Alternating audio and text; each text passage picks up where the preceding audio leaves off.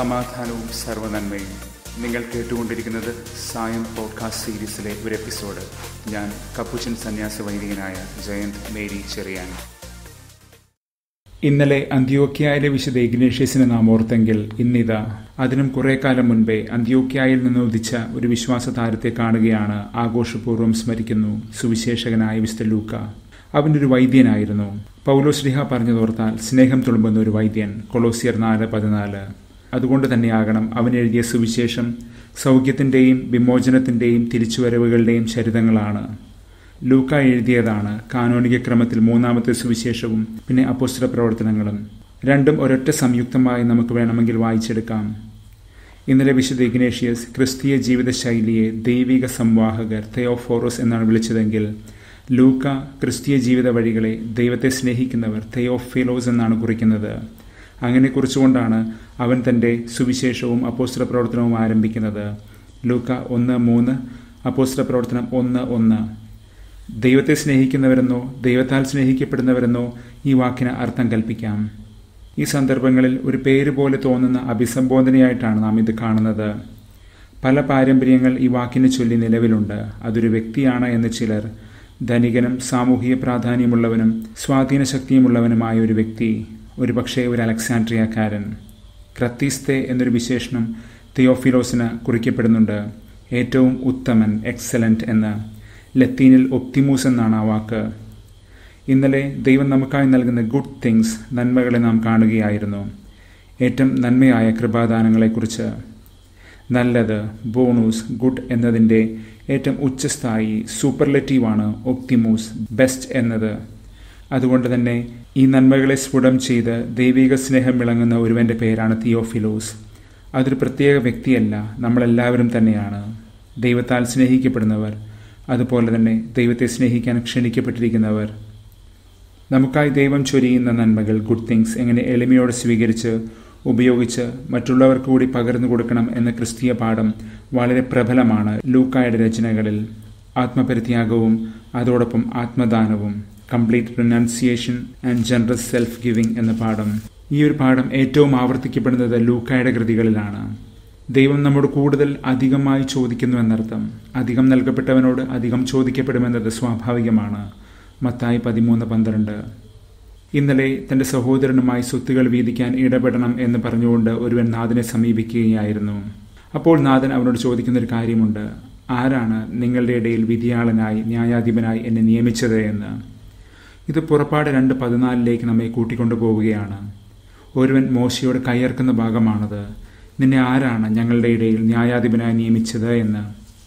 വിരോധാഭാസം എന്തെന്നാൽ പിന്നീട് ഇതേ മോശയെ ദൈവം ഈ ജനത്തിന്റെ അധിപനം ന്യായാധിപനമായി ഉയർത്തിയെന്നതാണ് അതുപോലെ തന്നെ പുതുമോശയായ ക്രിസ്തു യഥാർത്ഥ ന്യായാധിപനാണ്. പ്രപഞ്ചത്തിന്റെ മുഴുവൻ ന്യായാധിപൻ.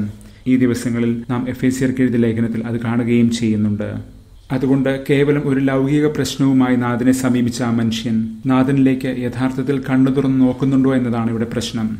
ക്രിസ്തു പ്രപഞ്ചത്തിന്റെ മുഴുവൻ ന്യായാധിപനാണെന്ന് അവൻ തിരിച്ചറിയുന്നുണ്ടോ? അതോ താൽക്കാലികമായ ഒരു ലൗകിക നിവൃത്തിക്ക് വേണ്ടി മാത്രമാണോ അവൻ നാഥനെ സമീപിക്കുന്നത്? അതുകൊണ്ട് തന്നെ ലോകത്തോടും പദാർത്ഥത്തോടും സമ്പത്തിനോടുമുള്ള പൊസിഷൻസ് നമ്മുടെ ബന്ധങ്ങളെ വിലയിരുത്താൻ തക്കവണ്ണം നിരവധി ഉപമകളും വിവരണങ്ങളും പ്രബോധനങ്ങളും ലൂക്കൻ കൃതികളിൽ നിറയുന്നുണ്ട്.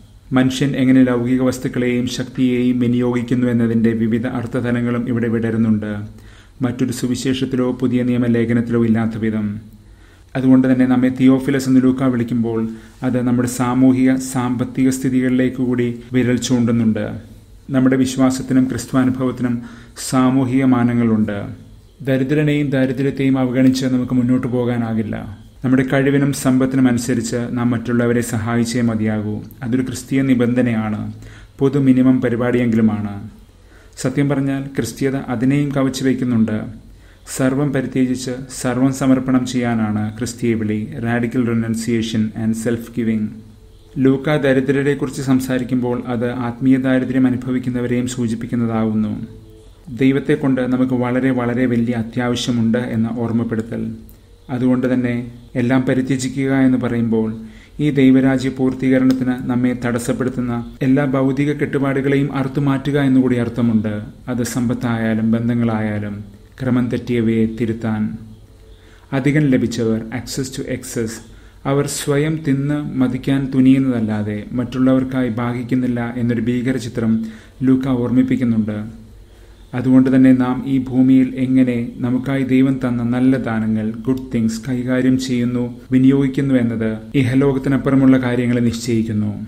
ധനവാന്റെയും ലാസറിന്റെയും ഉപമയിൽ ലൂക്ക ഇത് സ്പഷ്ടമാക്കുന്നുണ്ട്. ഇക്കാര്യത്തിൽ നമുക്ക് നാഥന്റെ കണ്ണിൽ പൊടിയിടാനാകില്ല. നല്ല ദാനങ്ങൾ തരുന്ന നല്ല ദൈവമാണവൻ. ലൂക്ക പതിനെട്ട് പതിനെട്ടിൽ പക്ഷെ ധനികനായ ഒരു യുവാവ് നാഥിനെ സുഖിപ്പിച്ചുകൊണ്ടാണ് ചോദിക്കുന്നത്. നല്ലവനായ ഗുരു നിത്യജീവൻ പ്രാപിക്കാൻ ഞാൻ എന്തു ചെയ്യണമെന്ന്. നാഥൻ അവനെ ആത്യന്തികമായി പഠിപ്പിക്കുന്നത് ആത്മപരിത്യാഗത്തിന്റെയും ആത്മസമർപ്പണത്തിന്റെയും വഴികൾ തന്നെയാണ്. പക്ഷെ അതിനു മുൻപേ നാഥൻ എടുത്തടിച്ചതുപോലെ ചോദിക്കുന്നൊരു ചോദ്യമുണ്ട്. നീ എന്തിനാണ് എന്നെ നല്ലവനെന്ന് വിളിക്കുന്നത്? ദൈവം മാത്രമേ നല്ലവനായുള്ളൂ എന്ന്. നേരത്തെ നാം ശ്രദ്ധിച്ചതുപോലെ ഒരു ചോദ്യശരമാണിത്. ആരാണ് എന്നെ നിങ്ങളുടെ ഇടയിൽ ന്യായാധിപനായി നിയമിച്ചത്? എന്ന ചോദ്യം പോലെ.